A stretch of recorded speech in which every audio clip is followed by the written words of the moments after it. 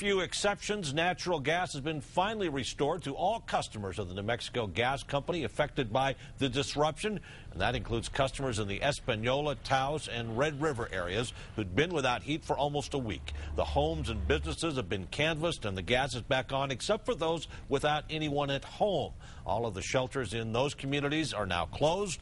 Governor Susana Martinez says the crisis will cost the state more than $2 million, but she expects FEMA to pay for most of that.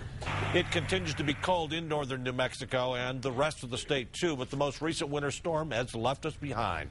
The storm dumped new snow here in Santa Fe, in the East Mountains, where many schools closed today, and blizzard conditions shut down I-40 eastbound at Tucumcari until about 8.30 this morning. New Mexico 275 north of Clovis remains closed at this hour. Well, the storm is gone, but the cold remains. Let's check in with meteorologist Kristen Van Dyke and her first forecast. Kristen?